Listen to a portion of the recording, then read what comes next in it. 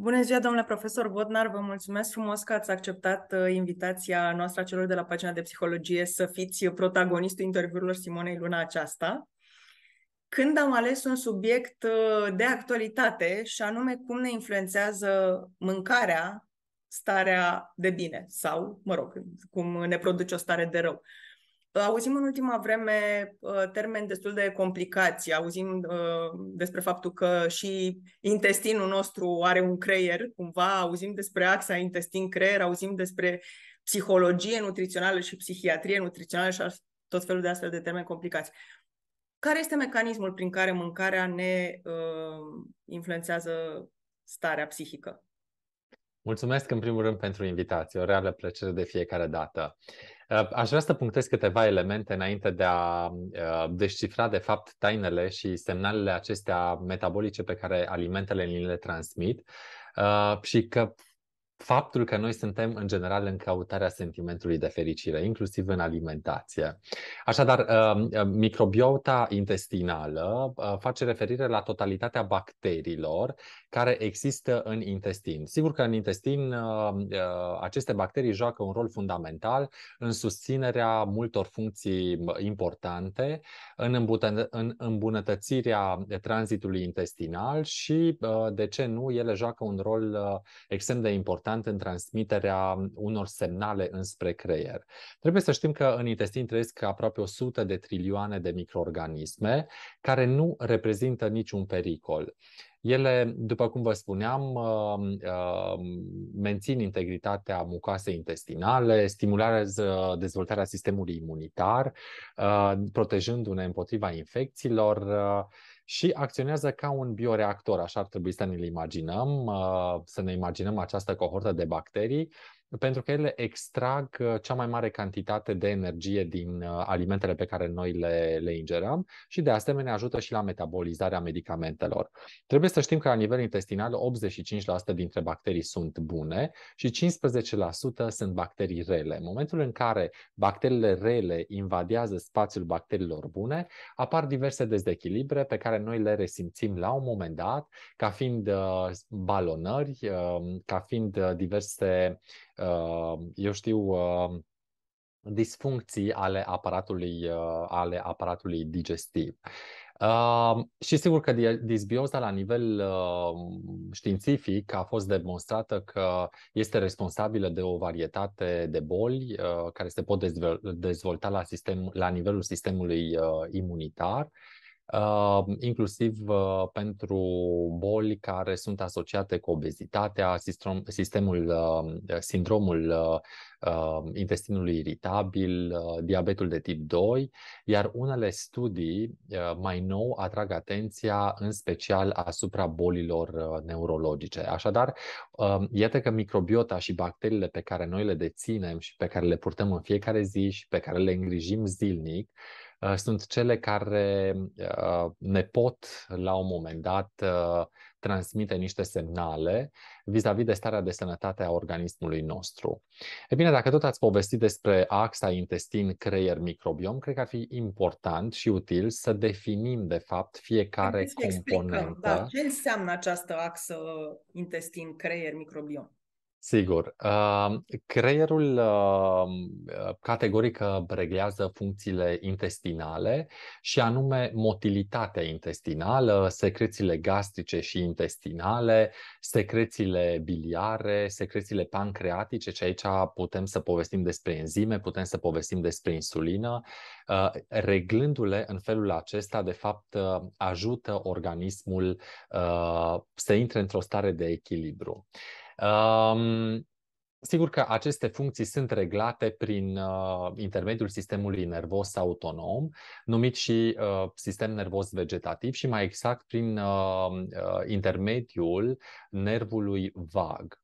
Activitatea sistemului nervos vegetativ este în mare măsură involuntară și are un caracter continuu, producându-se inclusiv în, uh, în timpul somnului. Pe de altă parte, intestinul joacă un rol major în reglarea axei creier-intestin-microbiotă. El conține aproximativ 80 de procente de celule imunitare ale organismului și uh, mai mulți neuroni decât, uh, spre exemplu, măduva spinării. Intestinul este cel mai mare um, organ endocrin și conține celule um, endocrine producătoare de hormoni. Um, ca și legătură între cele două elemente de pe axă, intestinul interacționează și primește semnale de la microbiota intestinală. Iar microbiomul, are rol decisiv în reglarea bidirecțională a axei intestin-creier.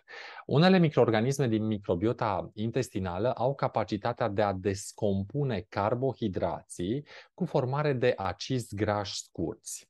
În acest context, carbohidrații pot fi um, văzuți ca derivați de fermentare microbiană, adică ca postbiotice, Uh, hrănând, practic hrănind astfel celulele epiteliale intestinale, care sunt responsabile în uh, menținerea permeabilității, spre exemplu, uh, a intestinului, care știm concret că este un aspect extrem de sănătos pentru, pentru sănătatea noastră gastrointestinală.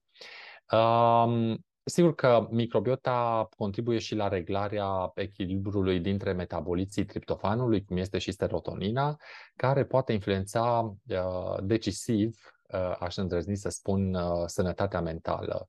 Asta, asta um, era una din întrebări, scuză că vă, vă întrerup. Da. Am înțeles că producția de serotonină se realizează în proporție de 95% la nivelul tractului gastrointestinal? Așa este, 90% din uh, studiile pe care le-am citit eu uh, ne indică că serotonina este formată în, uh, în corp de către bacteriile intestinale. Și cum e influențată ea de microbiom? Dacă bacteriile sunt bune, se face mai multă serotonină, dacă bacteriile sunt rele, se face mai puțină? Cum funcționează? Sigur, depinde foarte, de, depinde foarte mult de tipul de alimentație. De fapt, aici deschidem uh, subiectul, înainte de a ajunge la psihobiotice, deschidem subiectul uh, Um, robiei noastre în uh, căutarea stimulilor uh, fericirii.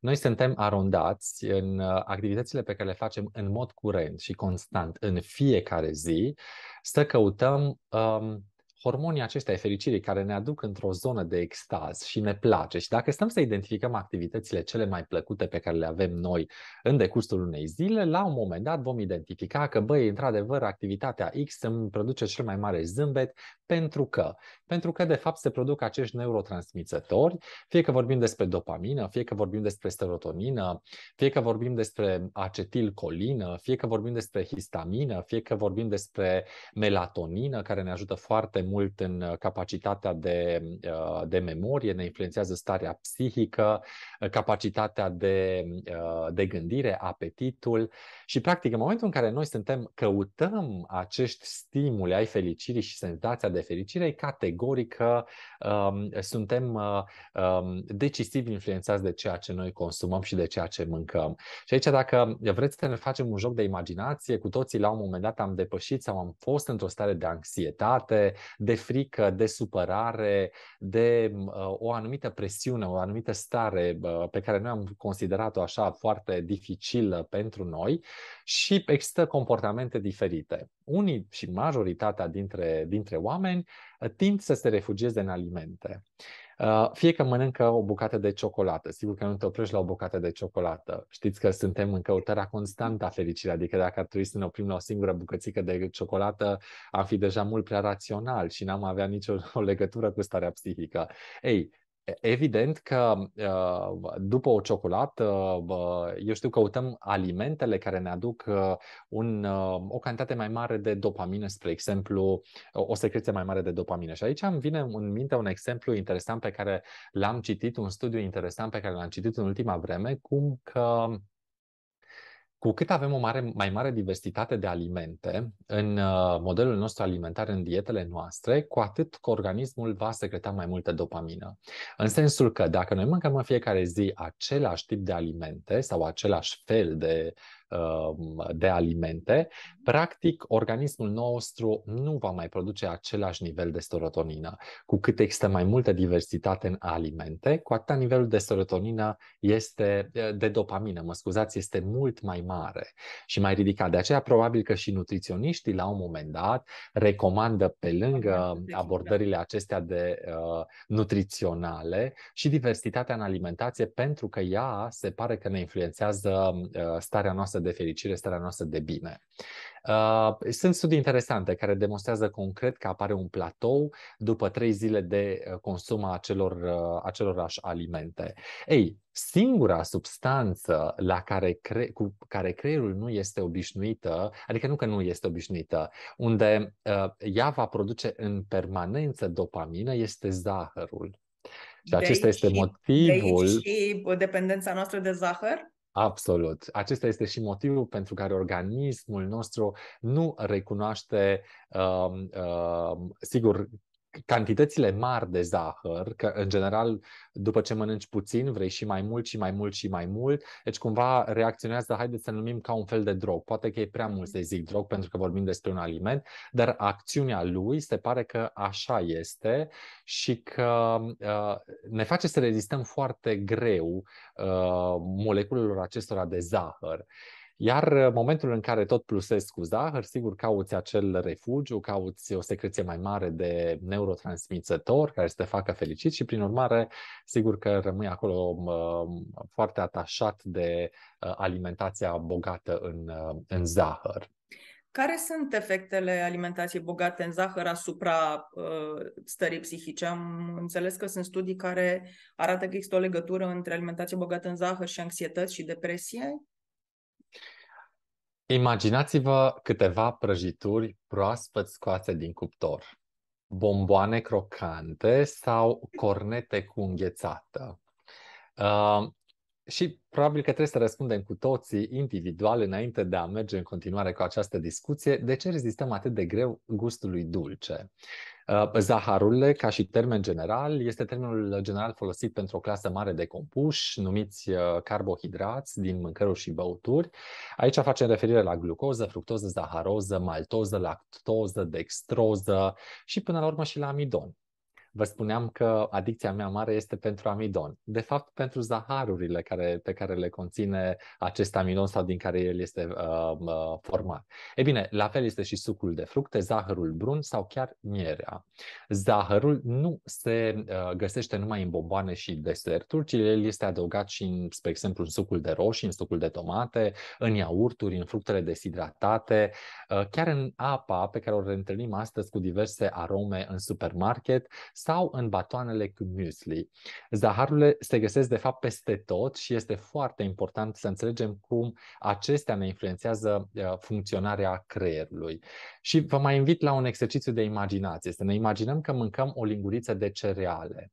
Glucidele vor activa receptorii gustului dulce, care sunt uh, parte a papilelor gustative de pe limbă. Acești receptori gustativi vor transmite mai departe semnalul către cortexul cerebral. Gusturile sunt procesate în diferite zone ale cortexului uh, cerebral în funcție de semnalul primit de la receptor. Fie că vorbim despre gustul amar, acru, umami, dulce, sărat. De la acest nivel, semnalul activează sistemul de plăcere al creierului. Acest sistem este alcătuit dintr-o serie de căi electrice și chimice din diverse zone, evident, ale creierului. Cu alte cuvinte, este o rețea foarte complexă, dar care răspunde la întrebarea subconștientă um, să o fac din nou, să mai iau încă o bucățică de ciocolată și cred că cu toții știm acel sentiment uh, ușor, neclar, dar plăcut, pe care îl simțim atunci când um, gustăm o prăjitură cu ciocolată. În momentul acela, sistemul de plăcere se activează și spune, mm, da, și să vă mai spun un secret. Asta nu este doar activ, acest sistem nu este activat doar de către mâncare. Sunt multe alte, alți compuși care ne fac, uh, uh, sigur, să simțim această plăcere, fără să intru foarte mult în vicile pe care le avem. Uh, dar, pe de altă parte, uh, uh, supraactivarea acestui sistem declanșează o serie de evenimente nefericite, cum ar fi pierderea controlului greutății, dereglarea apetitului alimentar sau toleranța crescută la zahăr ceea ce vă spuneam anterior vis-a-vis de dopamină. Uh, Sigur, revenim la lingurița, ca să nu încheiem uh, subiectul, revenim la lingurița cu cereale, acestea trec în stomac și în cele din urmă ele ajung în intestine. Uh, ei bine, uh, să știți că acolo Cereale există simple sau cereale re... îndulcite? Sau... Cereale simple, să ne okay. gândim la cerealele simple. Yeah. Să știți că acolo, la nivelul intestinului, există receptori ai zaharurilor. Nu sunt denumite papile gustative, însă acești receptori transmit semnale către creier, informându-l că ne-am săturat sau că organismul ar trebui să producă mai multă insulină ca să asigure, sigur, zahărul uh, consumat în plus. Ca să, nu să asigure, mă scuzați, ca să anihileze um, zahărul uh, consumat în plus. Dar întrebarea mea e de ce uh, ceva care ne face bine psihic ne face în final rău tot psihic prin mecanismele astea de prelucrare a la nivelul intestinului. Până la urmă, nu știu dacă ne face rău. Uh, eu cred, consider că este vorba strict de cantitate. Uh-huh. Pentru că și dependența de zahăr sau în momentul în care ai o dependență, ai tendința de a plusa plusând, de fapt vrei un nivel mai mare. E ca un roller coaster, adică dacă te-ai dus odată, o vrei și a doua oară, vrei și a treia oară, pentru că ai adrenalină, pentru că ai, ai ceva, niște stimul de satisfacție, de fericire care sunt eliberați. Și la un moment dat, dacă zilnic mergi pe acel roller coaster, la un moment dat vei zice, bine mă, nu mai am chef, adică devine plictisitor pentru tine să te mai duci, să mai ai încă o experiență și vrei ceva superior.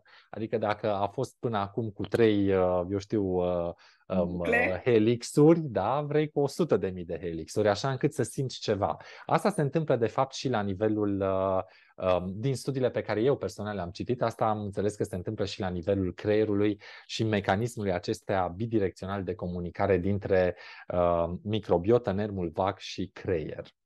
Știm care sunt alimentele care ne fac fericiți, în afară de ciocolată, desigur, toate cele care au în componență uh, zaharuri sau nu doar?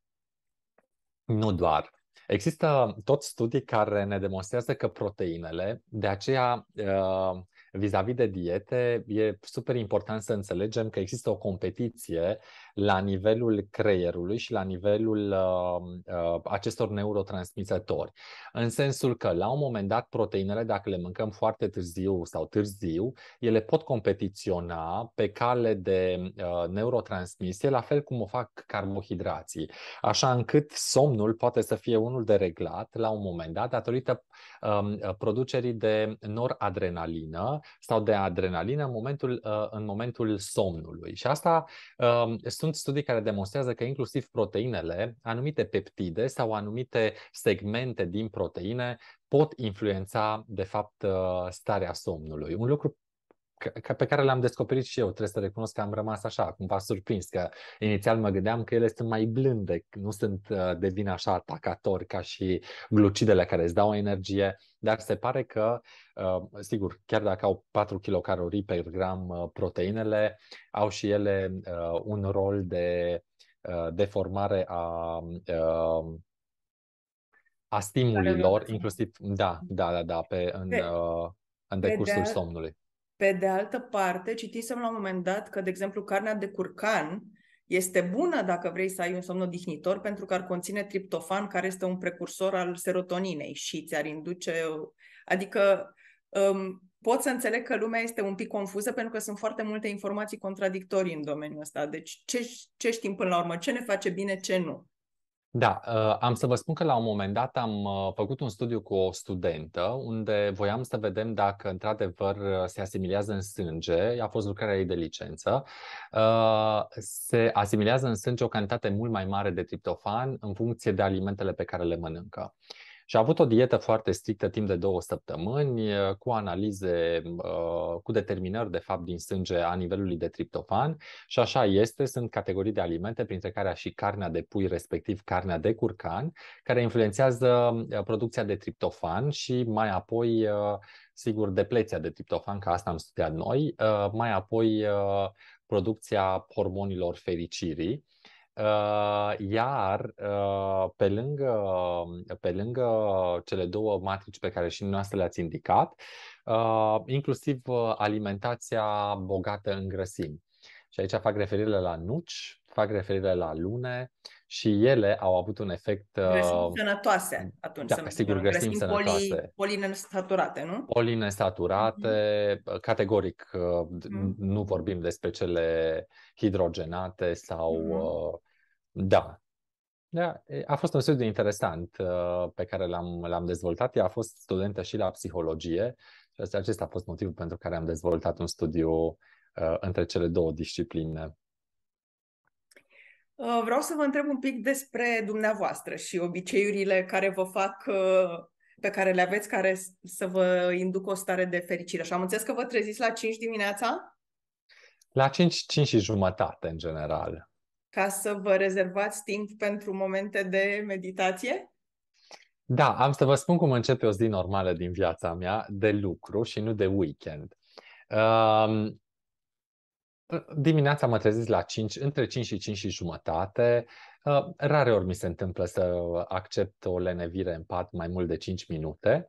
După care, sigur că dimineața îmi place foarte mult uh, că am un timp uh, pentru meditație, pentru rugăciune, exact așa cum ați uh, menționat dumneavoastră. Asta se întâmplă în zilele de lucru. În zilele de weekend uh, îmi place să ies la alergat și alerg dimineața și e singurul moment în care mă întâlnesc cu sportul mai nou în zilele de weekend.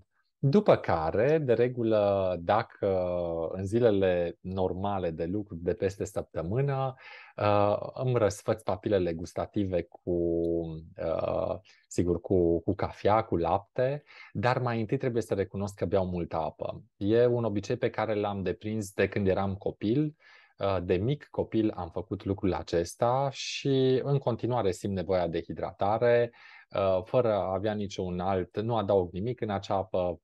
În sfârșit, după care pornesc laptopul și încep să lucrez, uh, așa încât la ora 7 când se trezește toată familia formată din uh, ceilalți trei membri, adică soția mea împreună cu Uh, copiii care, pe care trebuie să-i pregătim pentru școală, mă rog, dinamica aceea de dimineață, reușesc o mare parte din zi să-mi fie foarte bine organizată și știu concret că în momentul în care ajung la universitate, știu concret ce am de făcut. Adică cumva mă organizează prima parte din zi.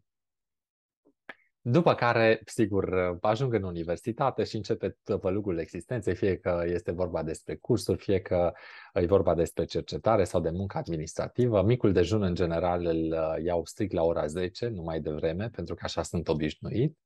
Masa de prânz este compusă de regulă din ciorbe, adică 90% mănânc ciorbe și nimic altceva, ca să nici nu-mi dea starea de, de somnolență și practic prima parte a zilei este uh, dedicată carbohidraților, cea de-a doua parte uh, legumelor cu multă grăsime. Recunosc că îmi plac foarte mult ciorbele cu grăsime, adică cu smântână și nu orice smântână, smântână adevărată.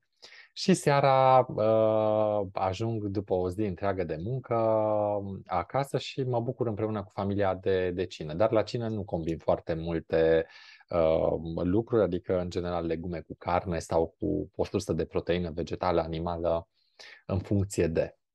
Și cam așa arată o zi din, uh, din viața mea. Sigur, n-am implicat copii pentru că recunosc că uh, foarte mult mă ajută soția mea.